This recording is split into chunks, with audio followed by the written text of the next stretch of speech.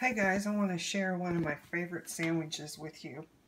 I use Brooklyn Rye bread, the cobblestone brand. You can use any bread you want, but you know, I like rye and poppy seed dressing. So you put the dressing on your bread and then I've used um, from the deli the sun-dried tomato turkey and then this is uh, imported French Swiss cheese, which I like baby Swiss, but they didn't have any.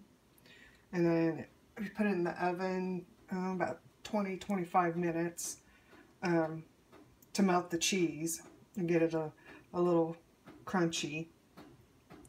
I made two because I was hungry, but I don't think I'll eat both of them.